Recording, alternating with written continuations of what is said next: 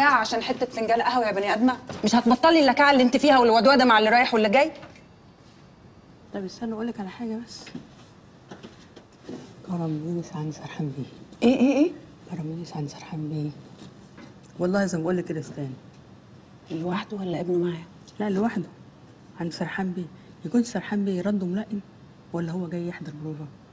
بروفة إيه اللي هيحضرها؟ من إمتى سرحان بيخلي حد غريب يحضر بروفات استنيني في أوضتي. حاضر. شفتي بقى يا مدام درية مش أنا قلت لك؟ أنا عيني مزوره ما تخيبش. انت تخنانه عن المرة اللي فاتت. الهانش فارق 3 سنتي بحالهم عن آخر بروفا مش بس هذا الشيء انه ذكي الأسد زي ما أهالينا بيقولوا. لا لا لا لا. بصراحة يا كرم من غير زعل ابنك عباس كاتب ومؤلف أشطر منك بكتير.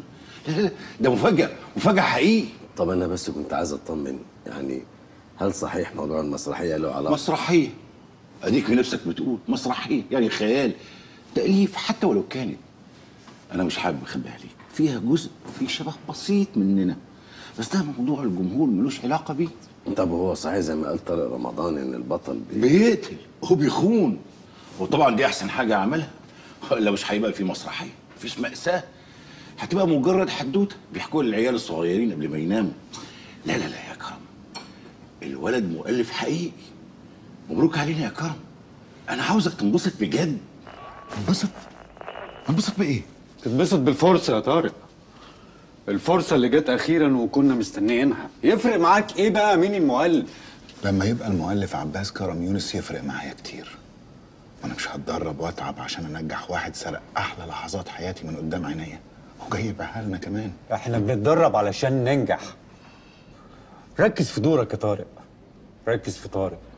لو الناس بتتفرج على أي مسرحية على إنها حقيقة كان زمان كل الكتاب مرميين في السجون. انسى الحياة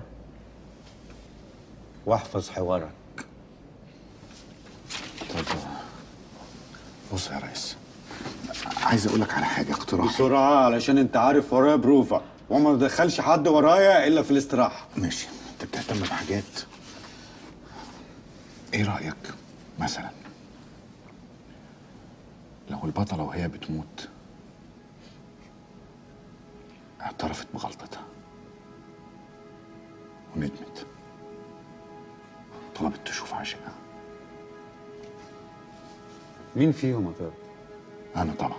إحنا مش قلنا ننسى الحياة ونركز في المسرحية بس هي دي الحقيقة. حقيقة إيه؟ الجمهور ما يهموش الحقيقة، الجمهور مش جاي يتفرج على الحقيقة، الجمهور جاي يتفرج على المسرحية، حتى لو كده.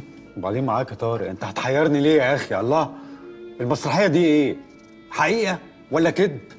الاتنين نورت يا كرم.